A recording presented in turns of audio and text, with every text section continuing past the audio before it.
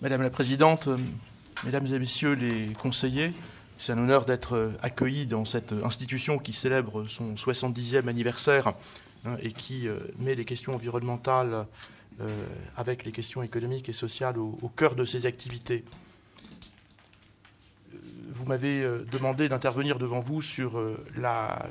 13e conférence des partis à la Convention sur la diversité biologique, la COP 13, hein, qui se déroulera hein, du 4 au 18 décembre à Cancun. Il s'agit d'un événement euh, bisannuel qui euh, relève d'une convention issue du sommet de la Terre de Rio hein, de 1992 euh, et qui, à parité avec la Convention cadre des Nations Unies sur la lutte contre le changement climatique et la Convention des Nations Unies contre la, désertification, forment les trois conventions dites issues du sommet de, Rio, les conventions de Rio, Hein, qui permettent de pousser la cause de la protection de, la nature euh, et plus largement du, développement durable. Cette COP13 de, Cancun sera précédée d'un segment dit de haut niveau, hein, les 2 et 3 euh, décembre. Le thème principal de, ces différentes euh, étapes, le segment de haut niveau et euh, la conférence des parties euh, elle-même étant l'intégration de la biodiversité dans l'ensemble des politiques, qu'il s'agisse des politiques publiques et qu'elles aient un caractère économique, environnemental hein, ou social.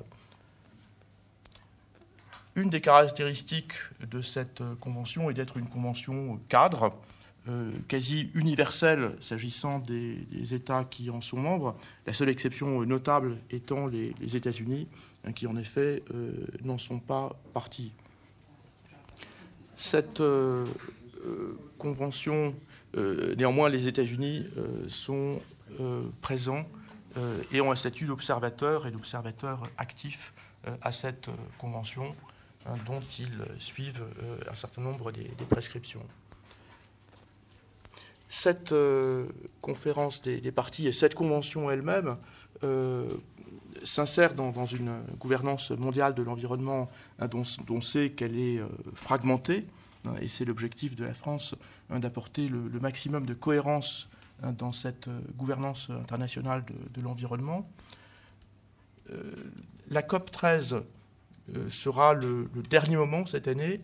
euh, après un certain nombre de, rendez-vous qui l'ont précédé et qui relèvent de la protection de la biodiversité et qui peut-être euh, plus encore que cette euh, convention cadre hein, se sont traduits par des progrès en matière de, protection de la, biodiversité. Je voudrais citer en premier lieu au mois de, février la, session de la plateforme hein, sur la biodiversité et les services écosystémiques l'IPBES, qui euh, est une interface hein, entre la science et euh, les politiques en matière de, biodiversité, et qui, pour euh, la première fois cette année, a publié une évaluation ayant un caractère global sur les questions de, pollinisation, qui a permis de négocier également un, un résumé pour, pour les décideurs, de manière à pouvoir euh, guider euh, les politiques publiques euh, et l'action de l'ensemble des opérateurs en matière de, protection des pollinisateurs. il s'agit d'un élément qui, guide et qui, du point de vue français, nous a guidés hein, dans les choix qui ont été faits Hein, y compris de, procéder à, l'interdiction des, néonicotinoïdes, pour ne mentionner que cet exemple-là. Pour euh, ce qui est des, autres échéances euh, en matière de, protection de la biodiversité hein, que je voudrais euh, relever devant vous, je voudrais rappeler la tenue au mois de, mai hein, de l'Assemblée des Nations Unies pour l'environnement, qui se réunissait pour la deuxième fois et qui a pris un certain nombre de résolutions pertinentes en matière de, protection de la biodiversité, hein, de euh, d'air protégé, hein, de protection du milieu marin, de, solutions fondées sur la nature, euh, y compris d'ailleurs dans, le contexte de la lutte contre le, changement climatique. Les autres grandes échéances hein, que l'on peut euh, avoir à l'esprit à ce stade, et sur lesquelles euh, je serai tout disposé à revenir euh, lors de, notre séance de questions-réponses qui suivra cette intervention liminaire, les autres échéances incluent la, COP, la conférence des partis, à la convention CITES, hein, qui s'est réunie au mois de septembre, la, convention sur le commerce illicite des espèces menacées d'extinction, hein, qui a pris une cinquantaine de décisions de, classement hein, d'espèces euh, euh, sauvages euh, menacées. Le congrès mondial de l'Union internationale pour la conservation de la nature, l'UICN, qui se réunit, lui, tous les quatre ans et qui a précédé d'ailleurs la, COP de la Convention CITES et qui a vu de nombreuses motions adoptées avec euh, un caractère euh, pionnier hein, sur la question de la, protection d'espèces euh, particulièrement emblématiques comme les éléphants et la fermeture du marché de l'ivoire. Des décisions là aussi sur la protection de l'environnement marin et les objectifs en matière d'air marine protégée. Je pourrais citer, pour me livrer à une énonciation qui n'a pas un caractère exhaustif, en tout dernier lieu, euh, la, tenue la semaine dernière à Paris hein, de l'Assemblée générale de l'initiative internationale sur les récifs coralliens, hein, dont la France euh, assure euh, le secrétariat et vient de reprendre le secrétariat, avec l'adoption partagée par une trentaine d'États d'un plan d'action dont l'objectif est de, prendre un certain nombre de mesures Hein, depuis euh, l'interdiction des, microbilles de plastique, hein, en, passant par euh, euh, l'énoncé d'objectifs chiffrés en matière de, protection hein, des récifs coralliens, des mangroves et des herbiers, jusque à des mesures de, qui relèvent du, principe de, précaution qui peuvent s'appliquer aux crèmes solaires ou des mesures plus substantielles sur les questions de, restrictions en matière de, dragage et de construction sur les récifs coralliens. C'est dans ce, dans ce contexte et, dans cette continuité que se déroule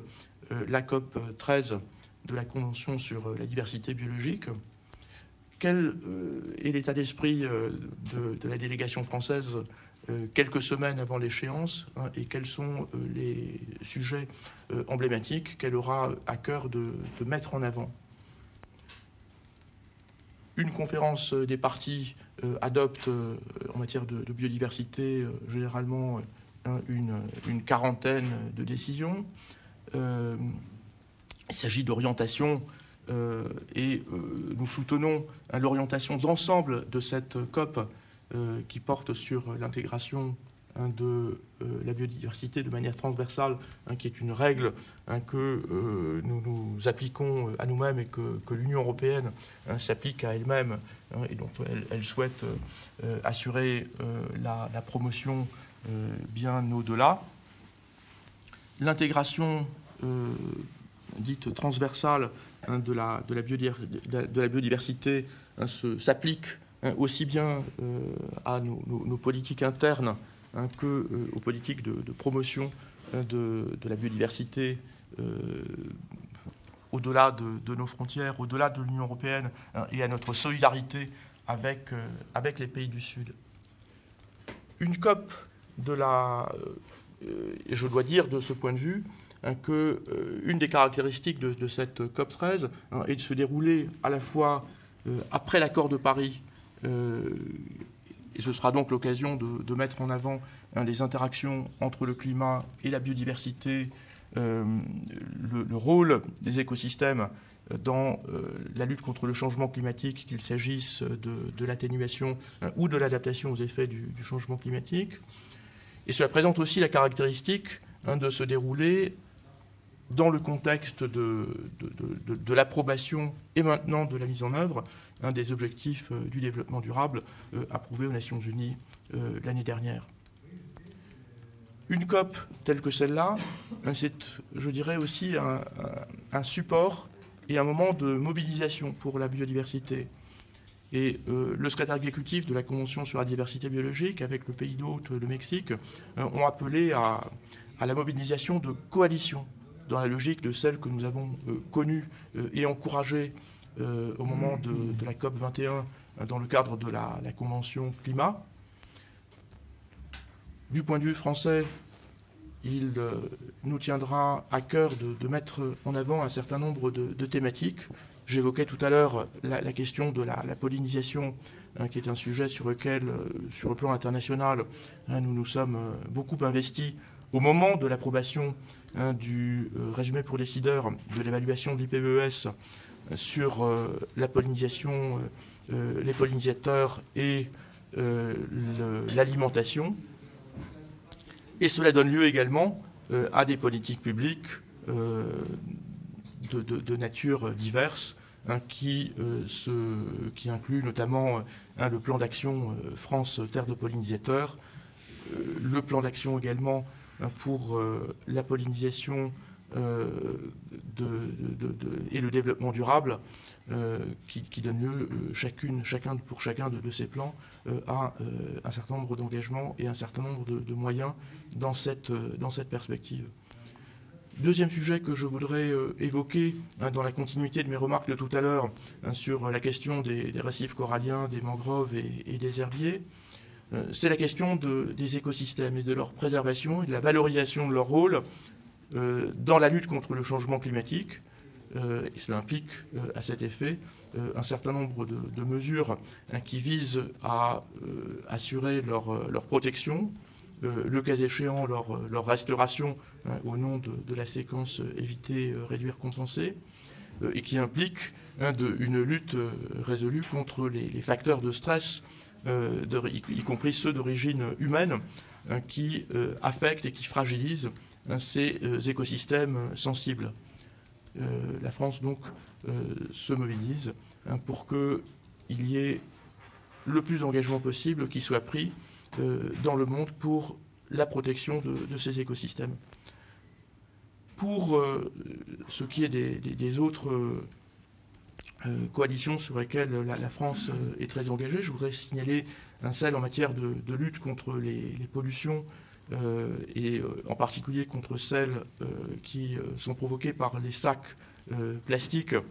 la France avait, dans le contexte de la conférence de Washington hein, sur l'océan au mois de septembre, annoncé son intention hein, de réunir une coalition conjointement avec Monaco et le Maroc hein, pour diffuser euh, et populariser dans le monde hein, les mesures euh, d'interdiction des, sacs plastiques hein, qu'elle euh, a décidé pour elle-même dans le cadre de, la loi sur la transition énergétique. Et cette coalition fait partie de, celle que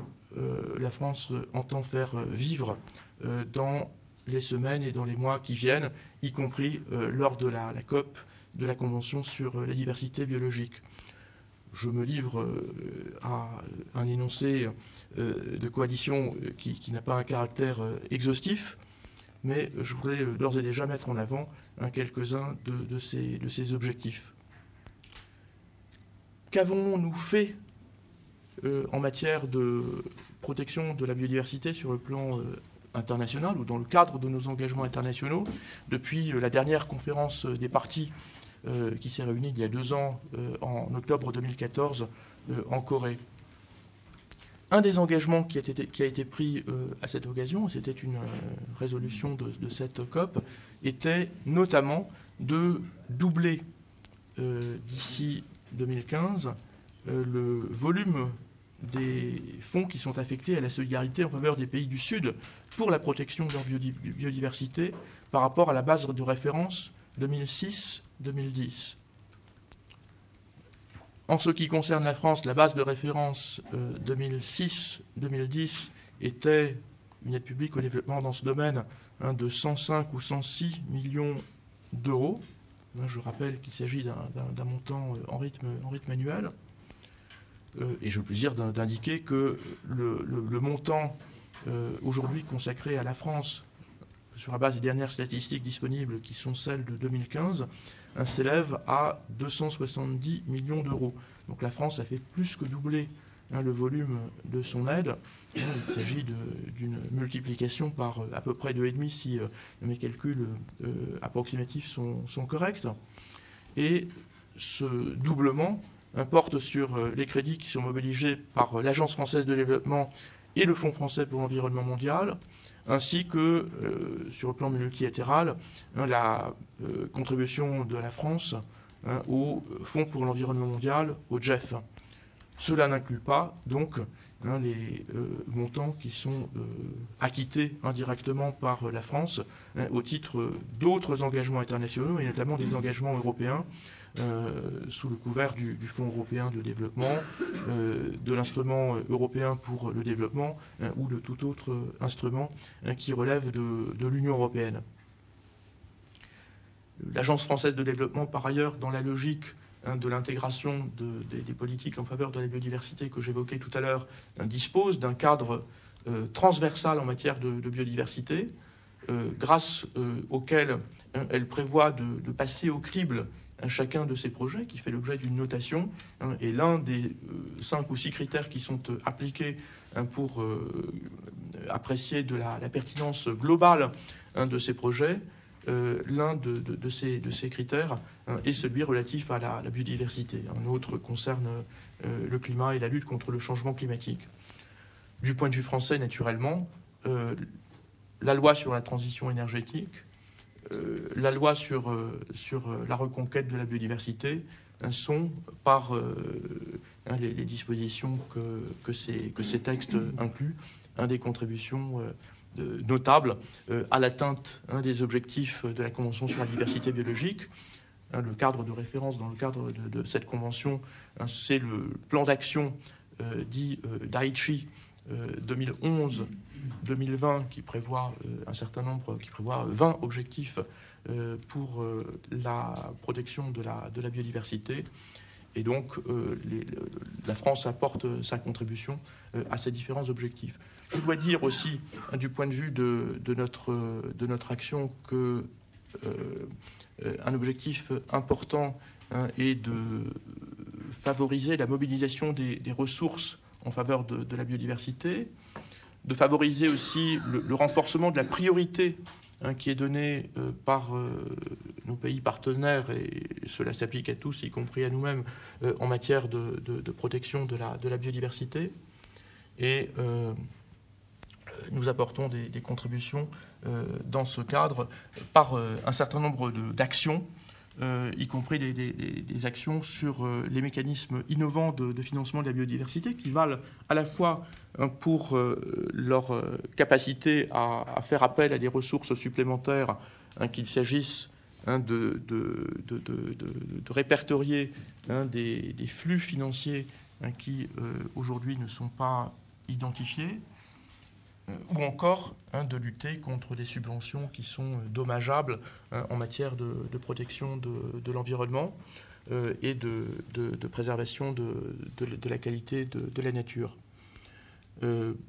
mettre l'accent sur les mécanismes innovants en matière de financement de la biodiversité hein, vaut un double titre, à la fois pour les ressources qui sont mobilisées, pour les moyens supplémentaires donc, qui, en, qui en résultent et l'état euh, d'amélioration de, de, la nature que l'on peut espérer en conséquence, mais également parce que c'est une manière de contribuer à la sensibilisation dans ce domaine. Hein, et le fait hein, de, développer des projets, par exemple, qui mettent en avant hein, les services qui sont rendus par, euh, les, par les, écosystèmes. le Fonds français pour l'environnement mondial dispose d'un certain nombre de projets, je pense à un euh, en Ouganda, qui est notable dans, dans ce domaine. C'est un moyen de renforcer euh, l'attention hein, et euh, dans les, politiques publiques, euh, les choix qui sont faits au titre des politiques publiques et dans plus largement la, conscience de la population, hein, de, développer une, conscience environnementale là où elle est encore insuffisante, hein, et elle est de toute manière insuffisante, et c'est notre objectif en matière de protection de l'environnement que euh, de rehausser le niveau de cette priorité.